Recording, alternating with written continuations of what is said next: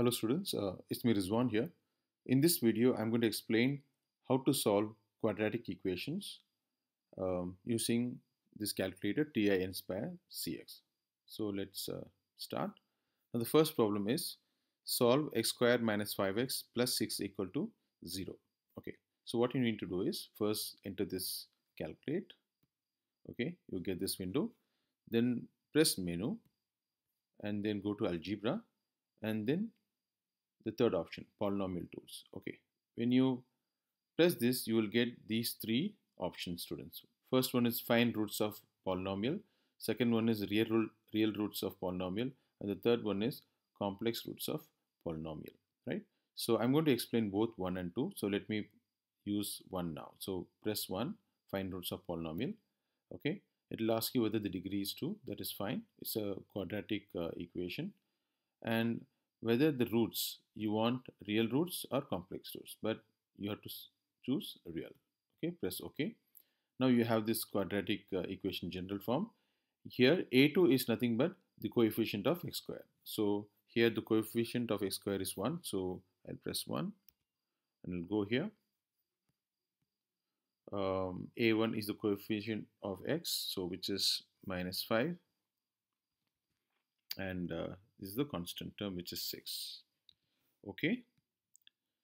Then you get this. So press enter. You get the two roots 2 and 3 right? So this is how you can do it. Or you can also let me delete this. Go to menu. Go to algebra. Go to polynomial tools.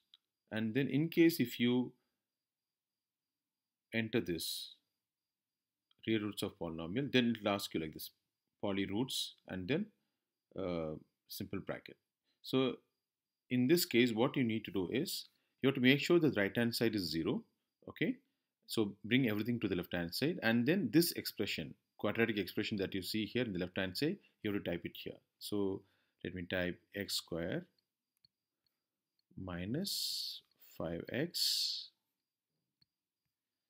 plus 6 and then comma x because it is a quadratic equation in x isn't it?